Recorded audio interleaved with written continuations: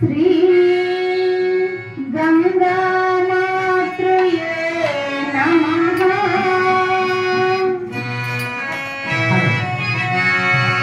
गङ्गास्वती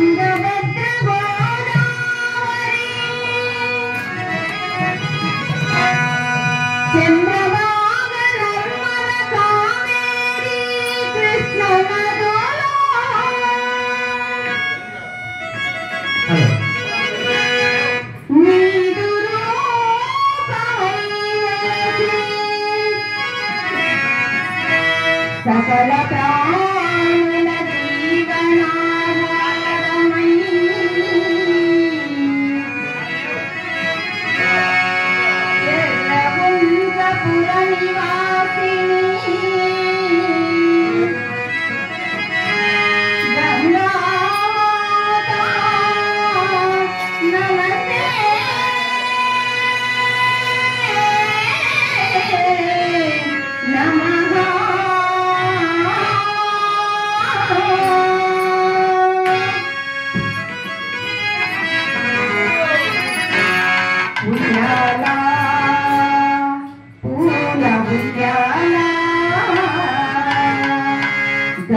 Thank you.